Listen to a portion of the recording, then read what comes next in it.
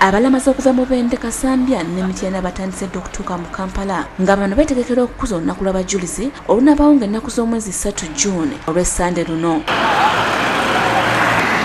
Wabula ku mulundi guno ebyokwerinda binywezddwa ku nguudo era nga patro zirabiddwako mu kiro nga zisimbiddwa ku mabbali w'oluguudo nga n'endala obwedda zirawuna okulaba nga tewali mulamazi yenna afuna buzibu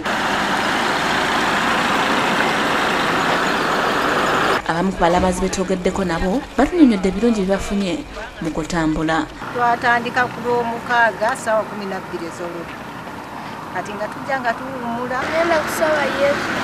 Ensonga abo abajulizi bano abiri na bana abafiire ne bajuula kristo.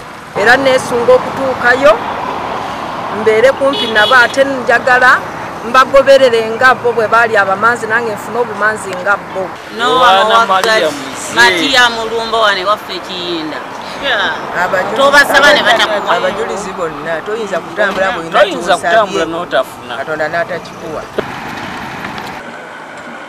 Abalala okuva ku masaka road abasukka mu bitaano balabiddwako nga bayimba ennyimba. Ezitendereza omutonzi. Muvirewa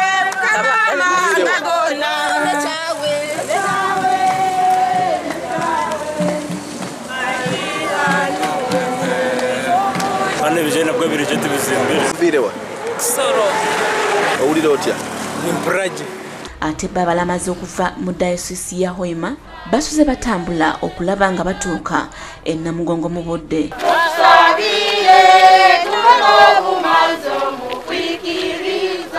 bano tubasanze bukomera ekibuga nga batambula era nga bano batubulidde nti basazeewo okutambula nga bebaza omujulizi kizito omuto okufiirira eddiini ye. Njagala kusaba abakasa omwoyo gwange.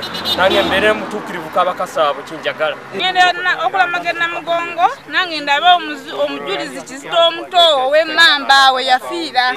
Genda kusimba mukama yampeereza omwana omwisikiire kyensinga okwagala katonda nyambe mu by'okusoma kw'abaana baffe mu famire ne maama waffe abeere bulungi ebirwadde bimuluma ate ne baganda bange mu kika kyaffe ng'ekyabambejja tubeere bulungi tukulaakulane tudivelopinge